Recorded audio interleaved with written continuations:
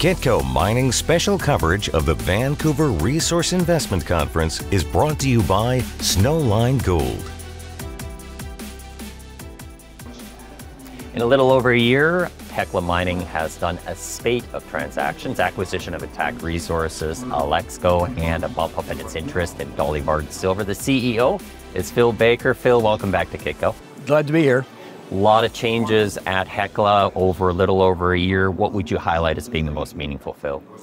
Look, uh, the acquisition of, uh, of Alexco with Keno Hill, it's an amazing ore body, and the exploration that we're seeing there uh, is everything that we imagined. Plus, it's uh, it's really quite remarkable, and I, I think this is going to be an incredible mining district. It already is, but mm-hmm. it's going to be even greater. You know, it's a 200 million ounce district.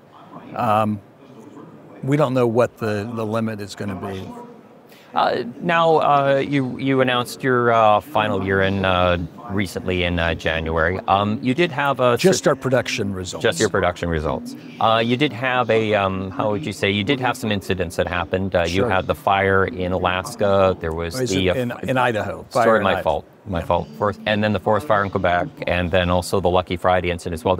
Were these all one-offs right now for yeah, them? Yeah, yeah. So let me let me talk about each of them. Of course, yeah. in, in Quebec we were subject to the same fires that everyone else was. Um, yeah. Having said that, there was no fires really near, specifically near our operation. Mm-hmm. But uh, the Quebec government shut down access to the forest roads, so so we weren't able to to uh, advance the the mine. But the mine's doing very well. We've changed the direction of the mine. We were doing both open pit and underground. We, we needed to simplify the operation, and so we are moving just open pit, mm-hmm. and we're well on the way, and we should uh, we should be there by the middle of this year, just just open pit.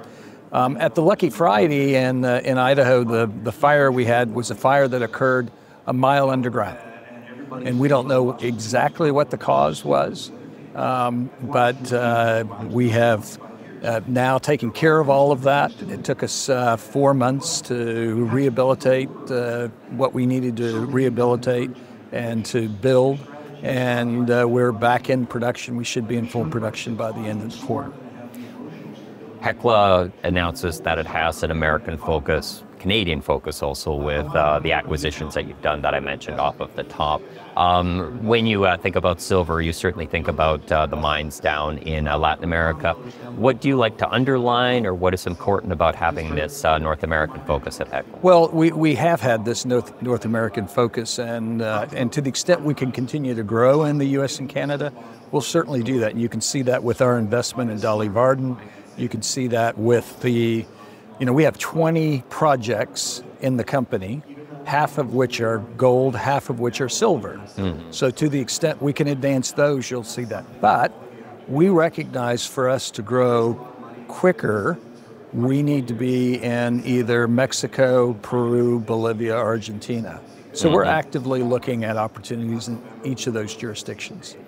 Uh, the U.S. did come in for some criticism. Um, it, was, it, was, a story that was kind of percolating, I would say, probably about a year ago, and that was just uh, the difficulty in terms of being able to develop a mine down there. So the legal hurdles that Ioneer hit, or Lithium Americas, or what happened up with Twin Metals. Has the environment changed for mining in the U.S. right now? You know, it's it's it really has changed dramatically for just development in the United States and across lots of, of industries, but particularly mining.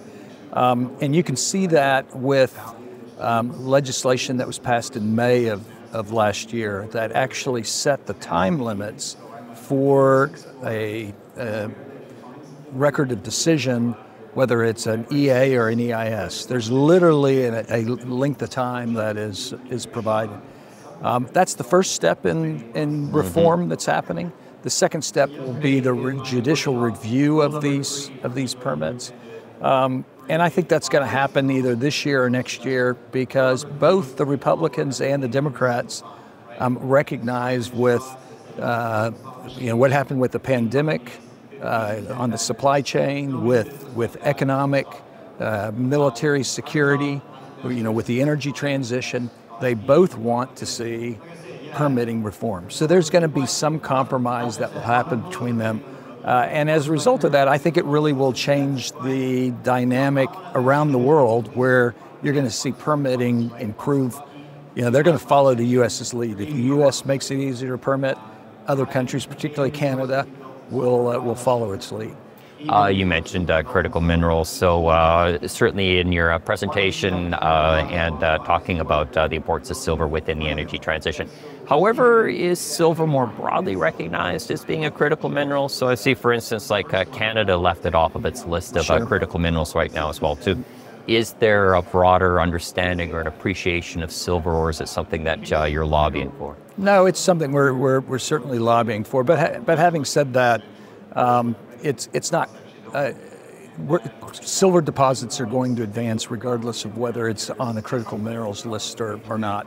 Um, it is uh, it is clearly uh, one of the key elements of this energy transition. The, the Energy Information Agency just came out with their report on what they think happened in 2023. And they, uh, they've said basically 75% of all of the renewables that have were, was installed in 2023 were solar.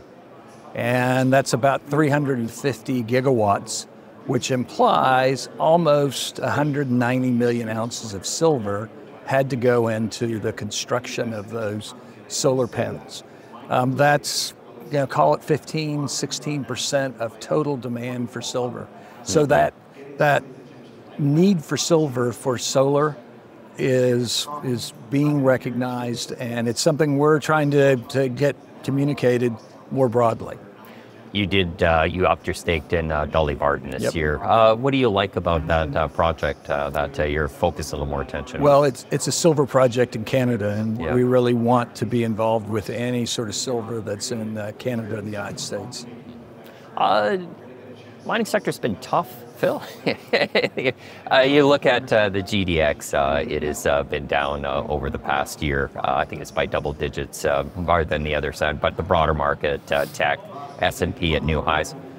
you know, we hit a gold, hit an all-time high back in December. What's going on? What's kind I mean, of keeping us down right now? Yeah, short term, it's about interest rates, and, and so it's no surprise. And you're seeing it across not just silver, but you know all of the the commodities um, it will turn, and uh, it you know provides an opportunity for people to expand their position. I'm going to ask you to choose your favorite between electrification, automation. Uh, you've certainly done a lot of work in terms of your mineral processes, and you've had success with that down at Lucky Friday. You have uh, the advantages with electrification and what that's going to do in terms of hopefully reduce diesel costs at uh, miners. Also, that has some advantages for underground mining. On the other hand, you have uh, automation, which could uh, increase productivity as well as also uh, give some help around labor. What do you see as being the strongest trends between those two? You know, between all of the trends, it's really innovation. So it's right. so, something completely different, which, which is what we have done at the Lucky Friday mine. We developed a brand new mining method. Mm-hmm. We have now had it patented um, and it's it is really thinking about new ways of doing the, the, the same work. And it's it's amazing the productivity that that mine has. It's producing about twice as many ounces than it's ever has before. So it's that's really what we're looking for. Whether it's innovation through a mining method or innovation through through new technologies, it, it is really about innovation. You had uh, in your uh, PowerPoint, uh, you did a call out to a copper project recently. Is there anything that you want to talk about that?